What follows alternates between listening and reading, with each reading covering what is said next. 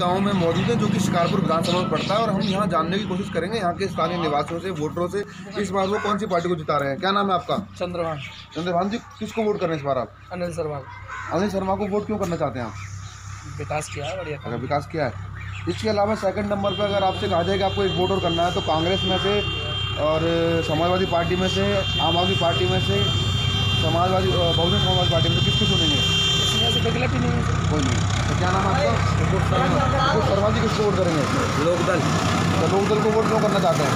गैया खेतर में खाई गई अच्छा। अच्छा इसलिए करना चाहते हैं? अच्छा, कि- कि- किसानों को नुकसान हो रहा है इसलिए? बहुत ज़्यादा। क्या नाम है आपका? किसको वोट करना चाहेंगे? अनिल शर्मा को?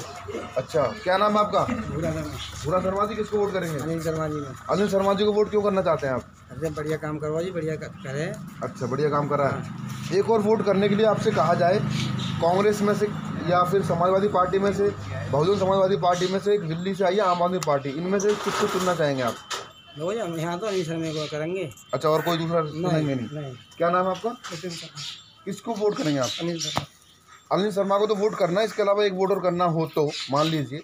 आम आदमी जी। अनिल शर्मा। अच्छा और कोई नहीं करेंगे आप। रोहित कुमार शर्मा। रोहित जी किसको वोट करेंगे? बीजेपी। बीजेपी को वोट क्यों करना चाहते हैं आप?